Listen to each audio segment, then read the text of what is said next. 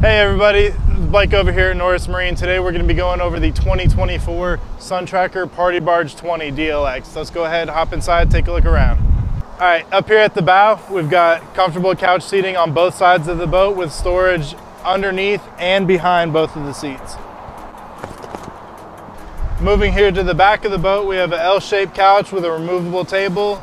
Plenty of storage on this one as well. All right, up here at the console of the boat, we have a completely redesigned helm station, rotomolded with a seven inch electronic screen that houses all of your gauges, as well as for 2024, a Wet Sounds sound system throughout the entire boat.